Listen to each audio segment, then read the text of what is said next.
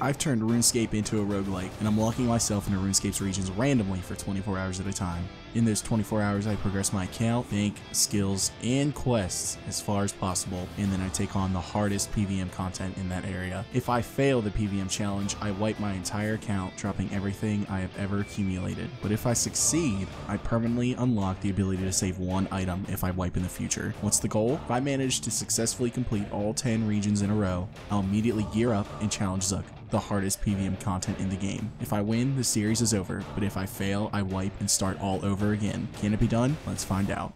Hello, all you beautiful people, and welcome to another episode of the Rogue Like OSRS series. Thank you guys so much for checking out today's video, and of course, remember if you end up enjoying it, please think about hitting that like button, subscribe button, and turning on that bell notification. And without further ado, let's get into that beautiful recap. So last episode we ended up rolling Zeah, and this time around I was able to actually complete all of the house quests, which unlocked a lot of great stuff for us. But I really wanted to focus on two things in this region. I wanted to focus on construction, and I wanted to focus on herblore, and we did just that. Thankfully I was able to buy a rune axe in the woodcutting guild, and I was able to woodcut with much higher efficiency than ever before. I also weaved my time by pickpocketing master farmers, getting herb seeds, and working on getting that herblore level up. And then I remembered I had insult heads in my bank, and we were able to snag a couple of prayer levels. We got really close to the end of the time in the region, and it was time to roll the boss and we ended up rolling at Chambers of Xeric. I knew this was going to be an absolutely hilarious attempt, so I geared myself up in my best gear and ran it in with my brother. I survived for a total of five minutes, and I'm pretty sure three of that was just talking. And we ultimately ended up dying twice, which was the stipulation I put on myself, resulting in us failing the region. And then we ended up rolling Varlamore, which leads us to where we are right now. Okay, we are going to be taking our first steps over into Varlamore. I am very excited for this. I've done a little bit of research. There are four quests in this region that we have access to. I can only do two of them, which is completely fine. I can do the Ribbiting Tale of the Lilypad Labor Dispute and Twilight Promise. Although I'm only going to be able to do Twilight Promise if I can actually make a bow and or cast magic. So I feel like I should be able to do either one of those things. So I'm going to go ahead and actually get started on the Ribbiting Tale of the Lily Pad because apparently I can get an axe while doing that quest and I don't know where to get one in this region outside of that for right now. There we are completing the ribbiting tale of a lily pad labor dispute. Honestly, this quest was very well written. Hands hands together for like whoever wrote the script for this because that was hilarious. So I got the axe. I also figured out that I can buy one over here at the Sun Sunset Coast General Store. So I've been doing like a lot of looking around. I can't do anything hunter related here. It is super unfortunate. I have to complete Eagle's Peak in order to be even able to hunt the Embertails, and then everything else is just a higher level than what my hunter is. I obviously can't do the at first light quest since I haven't completed Eagle's Peak either. So I think I'm going to fish for a little bit because I'm definitely going to need food for the one quest. And then I'm going to probably do some thieving. There are a lot of shops around here where I can buy stuff. Like there's a helmet shop over here. There is a mace shop, yeah, over here. Uh, there's also a sword shop. So, oh, there also is an allotment patch, so I can actually do more thieving because I saw a master farmer somewhere over here. So yeah, food is definitely the call. The only unfortunate part is that there is not a bank anywhere near here. But I saw that one of the quests, I think, unlocks this transportation system. But it unfortunately is the quest where I need two different styles of combat. So once I get a little bit of food, I'm going to figure out, like, if I can actually do that quest or not. Okay, so good news is that I definitely can do that quest. I saw that there was like places to mine, and I wasn't sure if there's actually a furnace here, but there is one over here. There also is an anvil over here and all the way down here.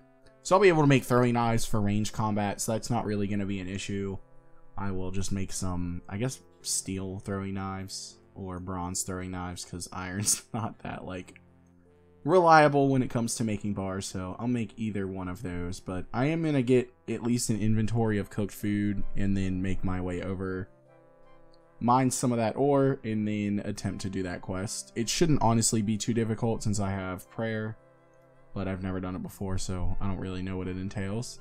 Okay, so we're done here. Of course, I've got my, you know, quest tab here, but depositing some lobsters. There's a pestle and mortar I picked up. Don't know if I'll need it, but I'm going to go ahead and do that anyway. I'm going to draw my rune pick, put this back in here, and then I am going to go mine and find out where I can get a hammer. I'm assuming I can probably just buy one, which isn't really that big of a deal. So I'll go ahead and do that after I'm done mining. Need to make some throwing knives for this quest, and then I'm going to go ahead and do that quest.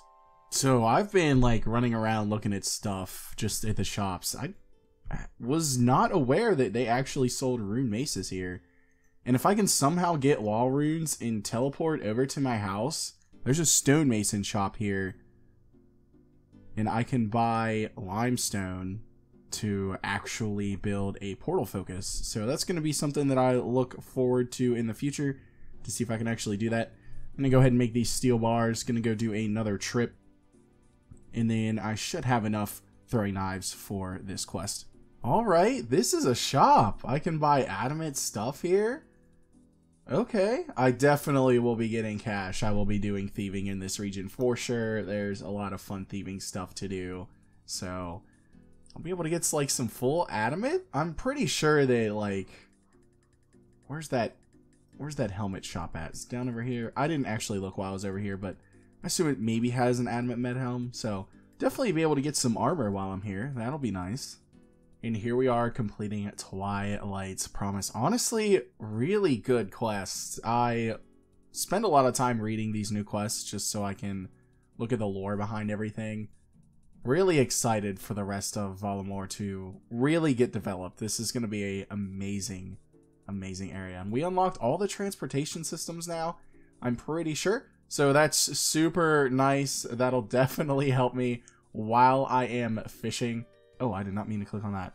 While I'm fishing because there is a transportation system right here, really close, and I can just take it, I think like right over here, and then be at least way closer to the bank than anywhere else I could go. So I am, I think, going to continue fishing for now until I figure out what exactly I want to get done. I know I need food for thieving because the wealthy citizens are 50 thieving, and I'm not really that much higher than that. 65, so we'll still fail a good amount. There we are with 67 fishing, absolutely beautiful. This will probably be the last inventory of lobsters I go ahead and do. This will put us over the threshold of 200, and then I'm going to go ahead and start that thieving. Okay, we are really close to getting a thieving level, and honestly, I feel like there really is just so much to do here. Even though I don't really have access to everything, I also really love the way that they did the thieving here. So like every minute and a half, there's like a child that will distract the wealthy citizens, and there we are with 66 thieving. And you just get to thieve from the distracted citizen unabated for 20 seconds. It's actually so nice. I'm going to continue thieving from these wealthy citizens until I get 100 house keys. And then I'm going to figure out what exactly uh, how that works. Man, this is so unfortunate that this is not part of Zeah because four of these steps are Zeah steps. We are about to hit another thieving level, and honestly, I'm having so much fun. I do have an easy clue that I'm juggling. There is an easy clue step on Varlamore. There we are with 68 thieving. I am really close to the 100 house keys goal. I'm going to look up a video on what exactly this entails, but it looks like there are citizens that leave their houses and then you break in with the house key and just steal valuables until they're about to come back. That is the gist of the rundown that I got from uh, one of my buddies. So I'll go ahead and look up a guide on that. We're already four hours in. I feel like I'm just having so much fun because it is a new region. Okay, so I have figured out the house keys thing. Honestly, it's pretty tight, not gonna lie. There is a beautiful plugin. If you guys are not aware of it, I have the, uh, I think it's like the Varlamore Thieving plugin. It's the House Thieving Varlamore plugin. It is super, super nice. So occasionally when you're in the house, one of the items that you can actually thieve from will glow green. You'll get a big stack of experience plus bonus valuables. And you basically just chill here until the owner starts to come back. You'll get notified if you're using this plugin when the owner gets close. And you just leave through the window. So it's pretty nice AFK experience. I don't really know what these are for. I guess you can sell them for cash. I'm going to have a lot of cash after this, so I'll be able to buy all the armor in this region for sure. Man, I am going to end up with a lot more cash than what I realized I was going to do. And I'm also going to be spending a lot more time thieving than what I thought I was going to be spending. I didn't really know how these keys worked. I love the fact that I am getting, like, this is going to be a magic amulet. This is going to be an amulet of power, like, once I can actually enchant. Although I'm not entirely sure I'm anywhere, like, close to that since they hit it. Uh, 57, okay. I'm not too far away. Yeah, I'm going to end up with a lot of cash. And I can get jewelry all the way up to diamond. So, like, I could also, like, we got a games necklace here. Could get some emerald rings for some dueling rings as well. It's going to be really nice. There we are with 70 thieving. Honestly, had no idea I was going to be getting that in this region. I still have 77 house keys to go. I woefully underestimated the amount of time I was gonna spend thieving in this region. But it's okay because there are like honestly, there's really not a lot for me to be doing here since I can't do any of the hunter contracts or hunters guild. So I guess thieving is really what it's gonna be this time around. There we are with 74 thieving. That is the last level I think I'll be getting in this region. I was not expecting to do this much thieving. We have over 10,000 valuables. And I think this is the person that I trade them into. Okay, let's go ahead and trade these in. Oh my gosh. we have over 700k and there's not really anything to buy in this region, which is kind of wild. We also have all of this, which is really nice could be able to get a power amulet. I have these blessed bone shards. From my knowledge, they're five prayer experience each. So I'm going to go ahead and get the supplies to actually convert those. And then I think I'll get a prayer level from this, so that'll be nice. Well, this is pretty AFK and pretty chill. It does drain prayer points, but there is altar right over here. And that is going to hit us with the 58 prayer. We had just enough absolutely beautiful. Love to see it. Alright, I went ahead and bought the adamant plate body and plate legs. Let's take a look here. Yup, we can buy the adamant full helm. So we now have full adamant. Very, very nice. I also forgot that I was wearing an emerald amulet and gold ring. That's fine. I'm going to go buy a cape from the clothes shop. I'm pretty sure I can snag one there. And then we won't look so much like a complete noob over here. Well, believe it or not, I am actually going back to thieving, but this time to a master farmer. I uh, definitely want to use the allotment patch that's here, get some herbs, and see what I can get done. So I'm going to thieve from this guy for a bit until we get some good seeds. And then, yeah, I'm to plant them, get some herbs, and hopefully be able to transport those into the next region. Okay, so I just got done at Master Farmers. I have, honestly, a lot of herb seeds. And let's go ahead and switch this because we are not at, uh, not at 11 hours. We're almost at 12 hours. Yeah, I got a lot of herb seeds. Unfortunately, no Ranarrs. I did this for about an hour. Uh, but this should be enough herb seeds to tide us over, especially if we roll a region next that also has an allotment patch. So I'm just going to start working on getting some herbs and hopefully the next region uh, will have some stuff where I can train Herblore. As far as what I'm going to do now, there really is not a lot for me to do here. I could power mine. Honestly, I might do that for a bit. But I think I want to focus on at least getting 68 fishing. I am 67 at the moment, so it's not like I'm too far away from that. And honestly, I'll probably knock out 75 thieving while we're here as well. And then maybe hit like 55 mining. Like those realistically are the goals. There's not really a lot that I can do here at the moment. I can't even complete two of the quests and one of them is like really good because that's the boss in the region. So yeah, I guess I'm just going to focus on doing that, and this region is going to have a lot of AFK time. And there we are with 43 farming. I also completely missed 65 cooking. I was on my laptop, and then I just kind of zoned out, because I stopped cooking the lobsters. I was like, alright, I'm not going to miss this clip. And then I missed it anyway. So I'm through the Harralanders, I'm through the Tarromin seeds, I'm working my way on the Marrentill seeds, and I also found out that I can actually buy pineapples in this region, so I'm to go ahead and do that and start making some super compost to store for later. This is the kind of stuff I like to figure out. So I was looking around, no vials here. I can't really make anything either, but then I remembered the farmers at the allotment patches sell plant cure. And I'm paying 25 gold per vial, but that's fine. I don't really need a lot. Honestly, I was just to get these. I can just empty these and use them now to train Herblore, so that is really nice. Hey, there we are, 68 fishing. My goal so that I could get into the fishing guild next time that we roll Kandarin. I want to finish up this inventory. We're looking real good with Herblore. I'm definitely going to be able to hit 40 in this region. Really like that. Honestly, I'm probably going to hit 44 farming as long as I keep up with what I'm doing. And I also found out that there's sand crabs down here uh, when I was just exploring way earlier in the region. So I'm probably just going to AFK some combat as well. Try to get some 65 defense and probably 64 or 65 hit points. There's not really anything else that I can do here at the moment. And there we are with 65 defense. Very nice. I am done training combat. Got about two hours left. So for the remainder, I am going to be working on finishing off all the herb seeds that I have gathered in this region. And some of you may be wondering, well, what about the boss?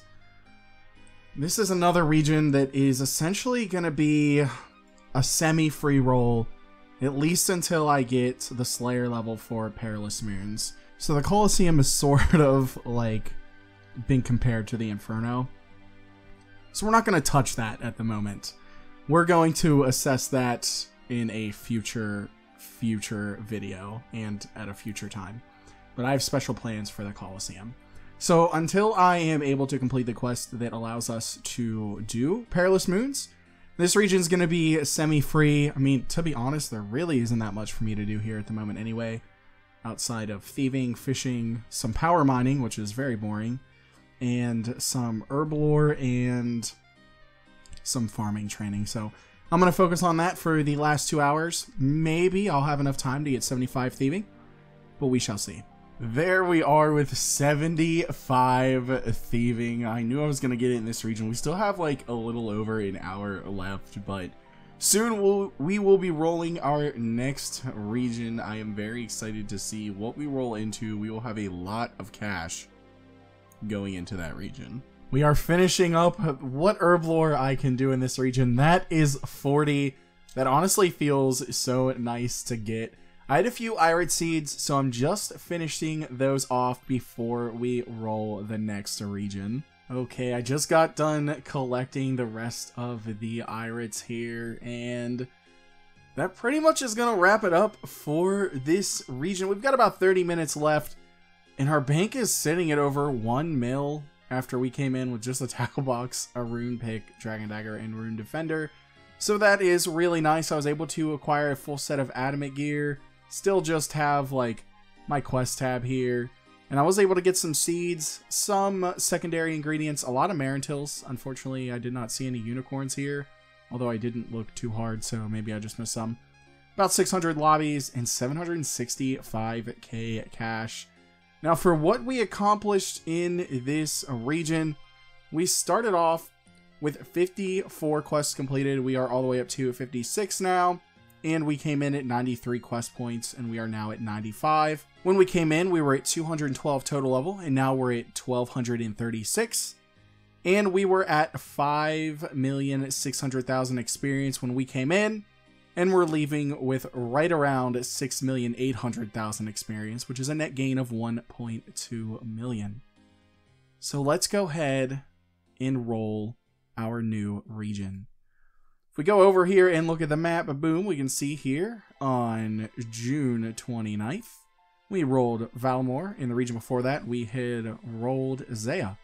So we've got all these unlocked, 1 through 9. We still can't go into the Elflands at the moment. So let's go ahead and pick our next chunk. I'm feeling very, very good. There's a lot we can do with the cash that we have, except in Morytania, which is exactly where we rolled. Oh no, I have like no runes, nothing. Oh, oh no. Okay. Well, that's like the one area I really didn't want to roll because I can't do anything with my cash here.